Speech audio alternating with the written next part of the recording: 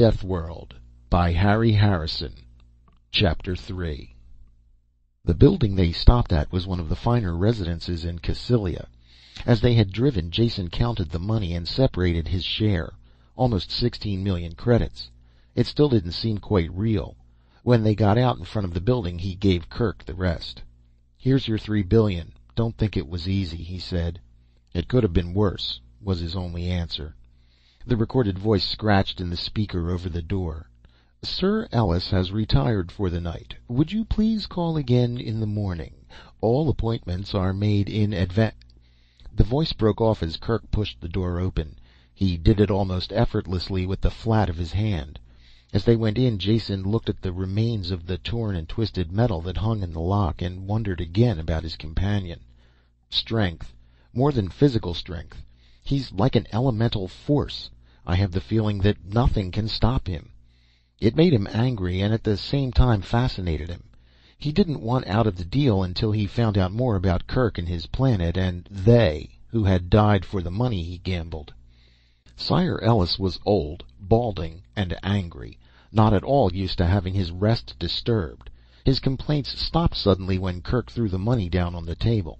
"Is the ship being loaded yet, Ellus? Here's the balance due." Ellus only fumbled the bills for a moment before he could answer Kerk's question. "The ship? But of course. Uh, we began loading it when you gave us the deposit. You'll have to excuse my confusion. This is a little irregular. We never handle transactions of this size in cash." "That's the way I like to do business," Kerk answered him. "I've canceled the deposit. This is the total sum. Now, how about a receipt?" Ellus made out the receipt before his senses returned. He held it tightly while he looked uncomfortably at the three billion spread out before him. "Wait! I can't take it now. You'll have to return in the morning to the bank in normal business fashion," Ellus decided firmly. Kerk reached over and gently drew the paper out of Ellus's hand. "Thanks for the receipt," he said. "I won't be here in the morning, so this will be satisfactory. And if you're worried about the money, I suggest you get in touch with some of your planet guards or private police. You'll feel a lot safer." When they left through the shattered door, Ellus was frantically dialing numbers on his screen. Kerk answered Jason's next question before he could ask it. "I imagine you would like to live to spend that money in your pocket, so I've booked two seats on an interplanetary ship." He glanced at the car clock. "It leaves in about two hours, so we have plenty of time. I'm hungry. Let's find a restaurant. I hope you have nothing at the hotel worth going back for. It would be a little difficult." "Nothing worth getting killed for," Jason said. Now where can we go to eat? There are a few questions I would like to ask you." They circled carefully down to the transport levels until they were sure they hadn't been followed. Kerk nosed the car into a darkened loading dock where they abandoned it. "We can always get another car," he said, "and they probably have this one spotted. Let's walk back to the freightway. I saw a restaurant there as we came by." Dark and looming shapes of overland freight carriers filled the parking lot. They picked their way around the man high wheels and into the hot and noisy restaurant. The drivers and early morning workers took no notice of them as they found a booth in the back and dialed a meal. Kerk chiseled a chunk of meat off the slab in front of him and popped it cheerfully into his mouth. "Ask your questions," he said. "I'm feeling much better already." "What's in the ship you arranged for tonight? What kind of cargo was I risking my neck for?" "I thought you were risking your neck for money," Kerk said dryly. "But be assured it was in a good cause. That cargo means the survival of a world guns, ammunition, mines, explosives and such." Jason choked over a mouthful of food. "Gun running? What are you doing, financing a private war? And how can you talk about survival with a lethal cargo like that? Don't try and tell me they have a peaceful use. Who are you killing?" Most of the big man's humor had vanished. He had that grim look Jason knew well. "Yes, peaceful would be the right word, because that is basically all we want just to live in peace. And it is not who are we killing, it is what we are killing."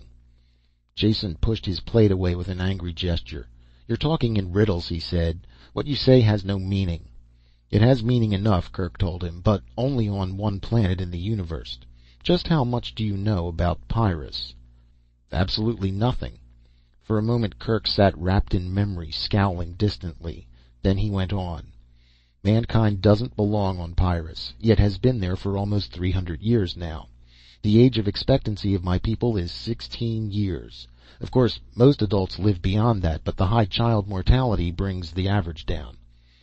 It is everything that a humanoid world should not be. The gravity is nearly twice Earth normal. The temperature can vary daily from arctic to tropic. The climate well, you have to experience it to believe it, like nothing you've ever seen anywhere else in the galaxy. "I'm frightened," Jason said dryly. "What do you have, methane or chlorine reactions? I've been down on planets like that." Kerk slammed his hand down hard on the table. The dishes bounced and the table legs creaked. "Laboratory reactions," he growled. "They look great on a bench, but what happens when you have a world filled with those compounds? In an eye wink of galactic time all the violence is locked up in nice stable compounds. The atmosphere may be poisonous for an oxygen breather, but taken by itself it's as harmless as weak beer. There is only one setup that is pure poison as a planetary atmosphere plenty of H2O, the most universal solvent you can find plus free oxygen to work on "Water and oxygen?" Jason broke in. "You mean Earth or a planet like Cassylia here? That's preposterous." "Not at all. Because you were born in this kind of environment you accept it as right and natural. You take it for granted that metals corrode, coastlines change, and storms interfere with communication. These are normal occurrences on oxygen water worlds. On Pyrrus these conditions are carried to the nth degree. The planet has an axial tilt of almost forty two degrees, so there is a tremendous change in temperature from season to season. This is one of the prime causes of a constantly changing ice cap. The weather generated by this is spectacular, to say the least." "If that's all," Jason said, "I don't see why " "That's not all. It's barely the beginning. The open seas perform the dual destructive function of supplying water vapor to keep the weather going, and building up gigantic tides. Pyrrus' two satellites, Samos and Bessos, combine at times to pull the oceans up into thirty meter tides, and until you've seen one of these tides lap over into an active volcano you've seen nothing. Heavy elements are what brought us to Pyrrus, and these same elements keep the planet at a volcanic boil. There have been at least thirteen supernovas in the immediate stellar neighborhood. Heavy elements can be found on most of their planets, of course, as well as completely unbreathable atmospheres. Long term mining and exploitation can't be done by anything but a self sustaining colony which meant Pyrrus, where the radioactive elements are locked in the planetary core, surrounded by a shell of lighter ones. While this allows for the atmosphere men need, it also provides unceasing volcanic activity as the molten plasma forces its way to the surface. For the first time Jason was silent, trying to imagine what life could be like on a planet constantly at war with itself. "I've saved the best for last," Kerk said with grim humor. "Now that you have an idea of what the environment is like, think of the kind of life forms that would populate it. I doubt if there is one off world species that would live a minute. Plants and animals on Pyrrus are tough. They fight the world, and they fight each other. Hundreds of thousands of years of genetic weeding out have produced things that would give even an electronic brain nightmares armor plated, poisonous, claw tipped and fanged mouthed. That describes everything that walks, flaps or just sits and grows. Ever see a plant with teeth that bite? I don't think you want to. You'd have to be on Pyrrus, and that means you would be dead within seconds of leaving the ship. Even I'll have to take a refresher course before I'll be able to go outside the landing buildings. The unending war for survival keeps the life forms competing and changing. Death is simple but the ways of dealing it too numerous to list. Unhappiness rode like a weight on Kerk's broad shoulders. After long moments of thought he moved visibly to shake it off. Returning his attention to his food and mopping the gravy from his plate, he voiced part of his feelings. "I suppose there is no logical reason why we should stay and fight this endless war, except that Pyrrus is our home."